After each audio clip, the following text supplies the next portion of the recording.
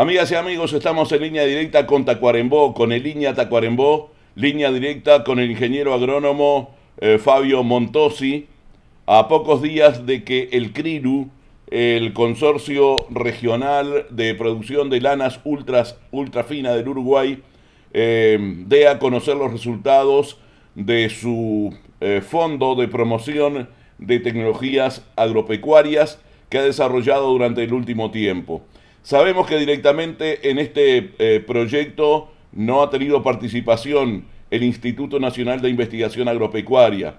No obstante, estamos en contacto con Fabio, que es un poco el, el padre de esta criatura, eh, para hablar con él, ya que este fondo estuvo destinado a volver a validar esas tecnologías que ha aplicado durante los últimos 20 años el CRIRU para eh, mejorar la lana fina del Uruguay y eh, convertirla en definitiva en uno de los principales rubros de la ovinocultura nacional. Así que bienvenido Fabio a esta entrevista eh, y bueno, ¿qué se siente cuando se está revalidando toda esta infraestructura y todo este camino ya desarrollado? Bueno, la verdad la palabra es es mucha satisfacción, alegría y, motivación, ¿no? Eh, este, además, este, esta criatura tiene muchos padres y madres, este, eh, porque fue concebido de esa manera, donde los productores están cofinanciando y cogobernando el CRIL 1 este, con los desafíos que tenía. Este es un proceso no de 10 años, que es lo que va a cumplir el CRILU. Prácticamente lleva 20 años este, incluyendo el proyecto Merino Fino del Uruguay. Primero nos planteamos llegar a 20 micras y después nos planteamos llegar a 15 micras. Por suerte hemos, hemos logrado todos esos objetivos este, principales, pero las micras no dicen nada.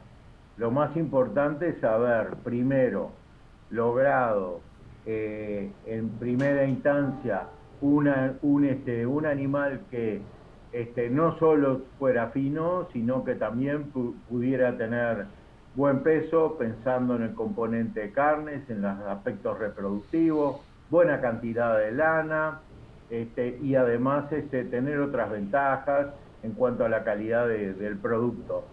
Y por supuesto este, ser productivo en términos generales. El segundo elemento era este, ir lo más rápido posible este, dentro de la orientación que teníamos para que esto se transformara en un agronegocio en el Uruguay, en un contexto de reducción del volumen de producción de lana del Uruguay de prácticamente a cuatro, este, cuatro veces de lo que teníamos de 80 millones de kilos de envase sucia a los 23 que tenemos, las lanas por debajo de, 22 micras fueron las que crecieron en un contexto de depresión. Entonces, este, ese era un, elemento importante. Pero lo que más nos, preocupaba era que esto le llegue a más y más productores, no solamente a los 42 consorciados. Y ahí fue que el CRILU compitió y ganó vía concurso este, este proyecto este, que tiene como objetivo demostrar de productor a productor que era posible incrementar la productividad eh, de, los, de los productores en los sistemas reales de comercialización, orientados por supuesto a las lanas superfinas, por debajo de 18 micras, y que además este, de eso podían generar un muy buen impacto este, económico. Bueno, la verdad que son cinco años de trabajo, yo lo he seguido de cerca este proyecto, como bien decís tú, yo no, participaba INEA, pero estábamos siguiendo de cerca porque queríamos ver el resultado de, este, de esta aplicación de las tecnologías de manera integral, ¿no? Bueno, y la verdad que los resultados son más que auspiciosos y se demuestra en la cancha con los productores y en sus propios sistemas de producción, con sus propias limitantes, y donde sabemos que no hay un productor igual a otro, que en términos generales se aumentó el ingreso del capital, este, un número que realmente impresiona es que siempre estuvieron con márgenes netos por encima de 100 dólares por hectárea. Precisamente, Fabio, eh, yo quería preguntarte eh, algo que lo sabremos en los próximos días en función de que vamos a hablar también con los productores. Pero ¿qué dicen los productores sobre el, éxito obtenido a partir de la incorporación de estas tecnologías y de participar además en el CRIRU, que ellos eh, no solo participan desde lo productivo, sino desde la administración del propio consorcio, ¿no? Bueno, ahí está la esencia de todo. Este, uno este, cree en algo cuando se involucra. Así que son los propios productores los que, los que marcaron el rumbo y la orientación de, ¿no? Entonces, este, no hay nada nuevo porque participan del, del proceso, Lo importante es llegarle a más masa de productores, como yo te decía. ¿Y quién mejor que ellos para hacerlo, no? Hablándole de, este, con las restricciones que tiene aplicar una tecnología este, de una manera integral y con las limitantes que a veces aparecen de todo tipo, que no solo son los recursos naturales, sino los económicos, los financieros, y a veces restricciones que uno mismo se puso, como decir que hay cosas que no quisiera aplicar tecnológicamente. Y esa es la riqueza, ¿no? Esa es la riqueza de ver de ese paquete tecnológico, cómo cada cual toma alguna de esas herramientas que uno le da, pero todos con objetivos muy claros y la definición de los objetivos de lo que querían hacer lo tomaron los propios productores. Uno le mostraba una paleta de oportunidades, ¿está? pero las decisiones las tomaron ellos. ¿Ya se llegó a la meta o hay camino por recorrer todavía, Fabio? No, mucho camino por recorrer. Hay mucho camino por recorrer.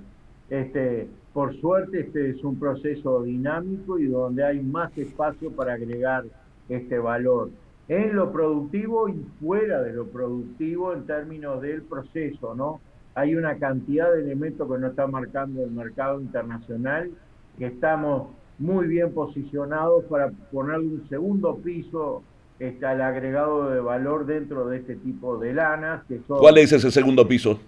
Ese segundo piso fundamentalmente es el concepto de valor extrínseco del producto, que es tema de bienestar animal, tema de huella de carbono, eh, la producción este, a, cielo abierto, temas de biodiversidad y todos los temas vinculados a la, al mantenimiento y ser amigable con los recursos naturales.